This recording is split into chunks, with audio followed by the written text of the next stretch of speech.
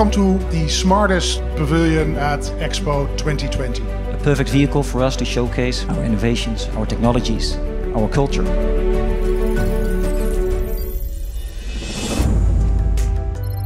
It was a really nice challenge to work with so many people, so many different nationalities, the colleagues on site, and of course our visitors, the daily visitors, but also the business people.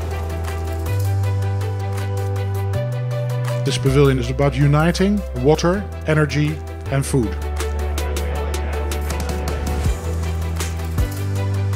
We like to see our pavilion basically as not only a building, it's actually a platform to have other companies show their innovations or techniques. It is important to have international partners everywhere in the world, not only in one place. We are here today with 60 business friends and decision makers. We need to change the image of women and girls in sports. This platform helped us achieving that goal again. Ik heb met behulp van de Nederlandse overheid heel veel nieuwe contacten op hoog niveau kunnen sluiten.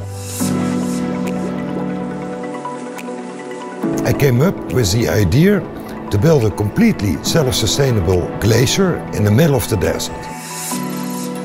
Water is the basis for health, for our food supply, for prosperity.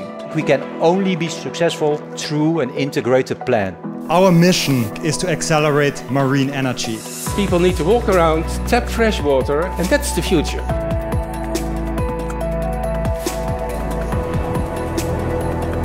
We're using organic solar panels. They're printed on PET, uh, very thin foil, and what you see is a very colorful uh, solar experience.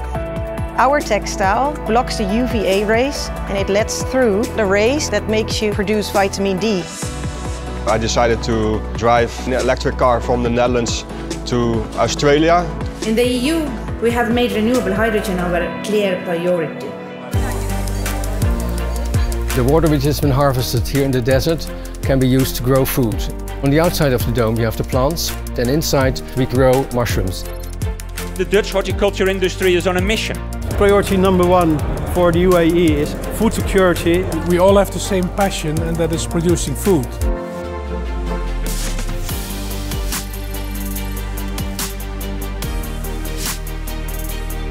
This is, for many, many, many reasons, the business hub in the region. In the Netherlands, we have so much to share with the world.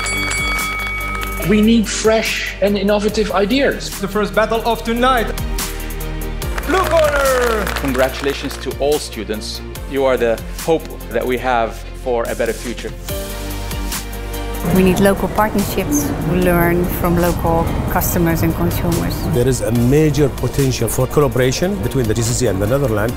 All those opportunities Dutch businesses got from this expo were amazing. It really leads to new business and new contracts. It's exceeded all our expectations. De expo heeft ook in de 21ste eeuw echt een, een meerwaarde om te laten zien wat de mensheid kan.